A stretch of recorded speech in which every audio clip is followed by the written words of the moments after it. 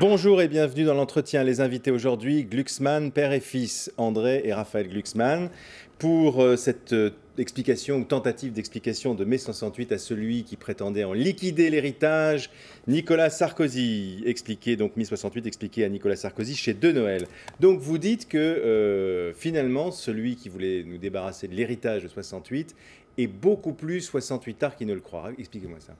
Bah, en fait, c'est le premier président qui n'est pas français depuis 12 générations, qui est divorcé, remarié. C'est pas vraiment la France de Tante Yvonne, euh, euh, Nicolas Sarkozy. Et c'est surtout le premier président qui, fait, qui ouvre les vannes de l'État et qui fait appel à la société civile. Vous savez, la France vit quand même dans un mythe étatiste qui, euh, qui, cultive sa propre méthodologie et ses propres mythes. Et c'est le premier qui rompt avec ça. Le, thème de la rupture, c'était un thème Mais profondément ça en fait un 68 art? Parce que la 68, ça a été une grande rupture de la société civile avec la tradition étatique de la France. Rupture, voilà, c'est la rupture. C'est bah, la rupture, c'est d'une rupture à l'autre. Maintenant, c'est vrai que c'est le candidat quand même du Parti conservateur, le président élu par la droite, et il développe des thèmes qui ne sont pas franchement 68 art. Mais vous en venez, vous, André Glucksmann, parfois vous demandez si mai 68 est vraiment un événement qui a changé quelque chose pour la gauche, ou qui était même un événement de gauche. Ah oui, non, mais ça, il n'y a, a, pas de propriété privée de mai 68.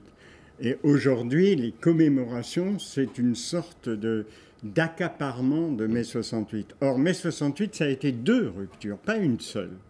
La première, c'était, c'est De Gaulle lui-même qui l'a dit, il a dit, euh, c'est fini avec euh, la sérénité antique d'une population de paysannes, d'un peuple de paysans, et maintenant, aujourd'hui, a succédé chez les enfants du siècle la sourde angoisse des déracinés le déracinement, ça c'est la première rupture. Déracinement, c'est-à-dire rupture avec la hmm. tradition. Nous sommes tous des juifs allemands.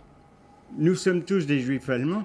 Euh, vous savez, les déracinés pour De Gaulle au temps de Barès, parce que c'était un monsieur qui avait quand même une certaine culture, ce qui différencie d'aujourd'hui, eh bien, les déracinés, c'était des gens, des jeunes Lorrains qui étaient pris en main par des Libanaises, par des étrangers le bon peuple disait par des juifs, euh, par des, Allemands, des ennemis Des métèques ou des fonds, il y a eu plusieurs versions après par la suite. Voilà. Mais quand on dit nous sommes tous des juifs allemands et que les étudiants en question n'étaient ni juifs ni allemands, sauf euh, hmm. d'énormes exceptions, comme Danny Cohn-Bendit, mais c'était vraiment ah, un des très rares, c'est une rupture avec le passé. Au fond, vous êtes, vous êtes en conflit euh, surtout vous peut-être, en conflit avec ceux qui prétendent être des héritiers de 68, et particulièrement Danny Cohn-Bendit. Parce qu'il y avait une.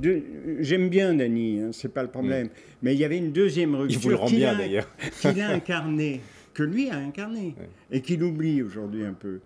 Euh, c'est la rupture avec le communisme, qui est une rupture avec une culture traditionnelle, révolutionnaire, communiste, ouvrière, etc., vous savez, en, mai 68, le Parti communiste était le premier parti de gauche, 23% des voix, et cloisonnait sa clientèle, hmm. c'est-à-dire les classes ouvrières. Interdiction d'aller discuter avec les, avec les, euh, étudiants. Hmm. Bon, ça c'est fini, c'est complètement fini. Dany, il disait, ouais, j'ai défilé avec des crapules staliniennes. Je ne sais pas si vous imaginez, mais à l'époque, dire ça à la télévision, hmm. c'était vraiment pas être de gauche. Hein. Donc c'était un double scandale, mai 68. Euh, un scandale pour la droite et une folie pour la gauche. Et je crois que c'est resté comme ça. Alors, j'essaie de voir un peu ce qui est derrière euh, votre, la thèse du livre. C'est vrai que, euh, alors, vous, Raphaël, vous essayez de régler peut-être un compte avec Mitterrand parce que votre histoire à vous, c'est le Rwanda, le film que vous avez fait sur le Rwanda, les responsabilités de la France. Ça, c'est la France à l'époque de Mitterrand. Mmh. Euh, votre père, André, c'est plutôt la découverte du goulag, etc. Mais, ok, d'accord. Vous pensez donc que Sarkozy a, est 68 tard parce qu'il a tué son père politique qui est Chirac, c'est ça Non, il y, a, il y, a, eu récemment un appel dans l'hebdomadaire Marianne qui rassemblait les signatures d'absolument toute la classe politique, depuis la gauche jusqu'à la droite. Et c'était une conjonction des conservatismes de gauche et de droite qui ont géré la France pendant 40 ans et qui aujourd'hui ne supportent pas la moindre idée de rupture avec la tradition française. Et moi, le reproche que je fais à la génération de 68, parce que je, je les remercie d'avoir libéré la France du carcan traditionnel, mais le reproche que je leur fais, c'est d'avoir oublié la politique. Hmm. Ils ont formidablement ouvert la, la société française dans les mœurs, dans la culture, dans la liberté de, chacun, les relations sociales. Mais ils ont complètement oublié l'État français, la politique française. Vous savez, mm. Mitterrand était le candidat de la gauche en 65, c'était encore le candidat de la gauche en 74. Le gaullisme était l'idéologie dominante à droite dans les années 60, et mm. c'était encore l'idéologie dominante puisque Chirac se revendiquait de De Gaulle et Villepin aussi.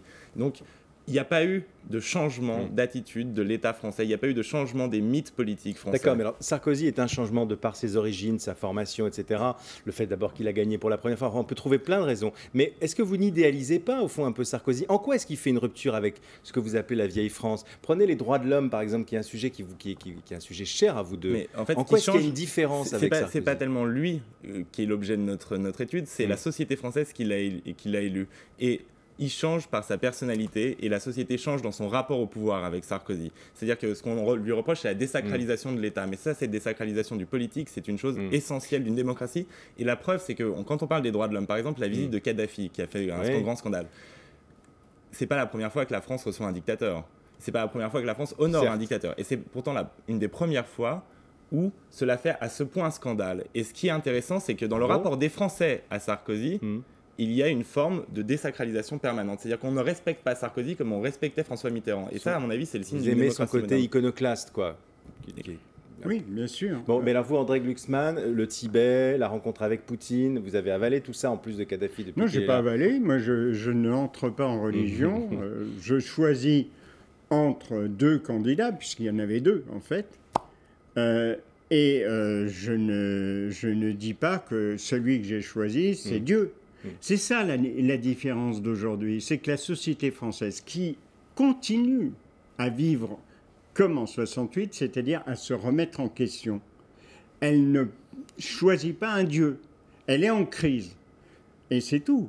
Euh, si vous voulez, la crise, ça signifie deux choses. D'une part, après mai 68, les gens se sont dit, les, 68 heures se sont dit, bon, tout est foutu, il n'y a plus Marx, il n'y a plus le Grand Soir, la révolution de Robespierre ou de, Staline ou de Lénine, c'est fini, donc plus rien ne compte. Ça, c'est ce qu'on appelle le postmodernisme. Mhm. On se fout de tout, on ne se soucie de rien et on fait ses petites affaires. C'est une vraie tendance qui a suivi mai 68. Et là, quand Sarkozy critique le relativisme, il a raison.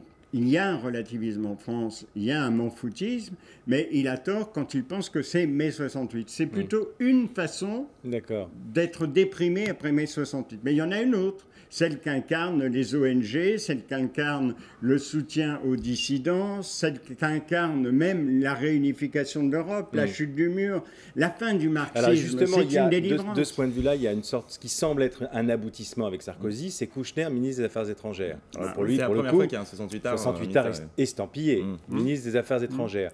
Et qu'est-ce que ça change? Ça change une chose ça ne change pas tout, parce qu'un ministre des Affaires étrangères au Quai d'Orsay, c'est mm. un ministre avec sa petite équipe de quatre personnes dans euh, un millier de fonctionnaires qui, eux, ne changent pas. Mm. Hein. Mais par contre, il peut prendre des initiatives. Et il y en a une qui est remarquable, c'est le Rwanda. Ça t'en parlera mieux que moi. Mais... Alors, non, mais par exemple, la France en Afrique avait une, la même politique que soit la gauche ou la droite au pouvoir. Et aujourd'hui, elle avait ses ennemis, à la tête desquels le gouvernement rwandais. Aujourd'hui, Kouchner a été à Kigali et a dit que la France avait fait des fautes politiques lors du génocide il était en conflit avec Mitterrand même déjà à l'époque. Il était en conflit avec Mitterrand, mais le fait, le simple fait qu'on puisse nommer à la tête du Quai d'Orsay quelqu'un qui était en conflit sur la ligne de la politique africaine de François Mitterrand, ça veut dire que Sarkozy a su imposer un renouvellement. Oui, mais regardez, Jean-Marie Bockel vient d'être viré parce qu'il a dit des choses désagréables sur la France-Afrique. Ça, n'ira pas sans tension. Moi, je pense que l'enjeu, c'est de savoir si la rupture va vraiment être mise en œuvre. Je, n'en sais rien. Mm. Le fait est que le seul qui avait mis cette nécessité de la rupture sur la table, c'était Nicolas Sarkozy au moment des élections. Oui, si vous voulez, nous, ce qu'on dit, c'est qu'il y a rupture nécessaire, que Sarkozy s'en est fait le héros pendant les élections, qu'il risque de subir le conservatisme de gauche et le conservatisme de droite, donc il risque même de se ranger, ça sera la fin de la rupture. Mmh. Ce que nous indiquons, c'est tout simplement l'embranchement, le mmh. choix, l'aiguillage. Euh, nous ne garantissons pas Sarkozy, mais s'il ne le fait pas, mmh. cette rupture, s'il n'a pas le courage d'aller jusqu'au bout, Mm. bah, il faudra qu'il y en ait un autre. Et puis vous gardez votre indépendance. Et à un moment, de- enfin, vous rappelez que Yasmina Reza, d'ailleurs à propos de cette phrase sur 68, euh, rapporte que lui-même a dit c'était quand même une mauvaise foi absolue. bon, euh, Est-ce que la mauvaise foi c'est un trait de caractère 68 art? Ça, C'est un trait de caractère des campagnes électorales. Ah, hein. surtout, on, on- ouais. on tape euh, à tous les coups. Il y a eu des, des débordements de- d'idées Mm. en 68, par exemple, élection piège à con, c'est encore de la mauvaise foi Mm. Électorale. vous, vous dites au début du livre, vous dites que vous étiez un peu admiratif de l'utilisa- du, du coup politique que fait Sarkozy quand il fait cette sortie sur 68. Oui, parce qu'il a divisé la gauche. C'était Mm. ça son idée. La gauche s'unifiait uniquement sur le slogan tout sauf Sarkozy. Ouais. Et lui, il a lancé son pavé 68 à sa Vous manière. êtes un peu cynique à votre façon, vous aussi. Alors, Hmm. vous êtes un peu cynique à votre façon, vous aussi, André Glucksmann. Mais une, une campagne électorale, c'est un théâtre, Ouais. c'est évident. Mais alors ça, c'est le début du livre parce que moi, j'ai- j'étais très choqué par le discours de Sarkozy et ce qui m'a étonné, c'était son sourire. Il rigolait pendant le discours de Sarkozy, alors que moi, je trouvais ça quasiment... Vous pensiez qu'il allait mal le prendre. Voilà, j'étais persuadé, c'était la première fois qu'il allait à un meeting électoral et en plus pour soutenir un candidat de droite, ce qui semblait pas naturel. Et enfin, il reçoit le discours Mm. de Sarkozy en pleine tête sur, sur 68. Donc moi, j'étais très choqué et je l'ai vu rigoler. Il m'a dit c'est Dany qui attaque Dany. Donc j'ai Mm. trouvé ça un peu énigmatique, voire cynique. Et euh, c'est comme ça qu'on commence euh, la discussion. Est-ce que vous pensez, euh, André Glucksmann, que Sarkozy vous a utilisé pendant la campagne électorale? Est-ce que vous le revoyez depuis? Est-ce que, Ou est-ce que, voilà, il s'est servi de vous maintenant Ouais, c'est comme toujours, euh, tout le monde utilise tout le monde hein, dans, dans le combat politique. Mm. Euh, moi, j'espère euh, influer sur lui et, et aider à la politique des droits de l'homme. Bon, sur certains points, ça marche, sur certains points, ça marche pas. Réciproquement, probablement, oui, bien sûr. Mais enfin, vous savez, euh, je ne suis pas vraiment d'une utilité très grande pour Sarkozy. Et, et est-ce qu'il n'y a pas, pour terminer, une phrase, un slogan de mai 68 qui pourrait s'appliquer à Sarkozy? J'ai quelque chose à dire, mais je ne sais pas quoi. Je ne sais pas comment le dire. Ouais, c'est bah, c'est tout à fait ça, c'est la fête de la parole libre. Ah bon, après lui, il va falloir qu'il arrive à, à la dompter, cette parole libre, puisque 68, pendant 5 ans, ça risque de lasser très vite les Français. Merci André Raphaël Luxman, mai 68, expliqué à Nicolas Sarkozy chez De Noël. Tout de suite le journal. Merci. başlıyor.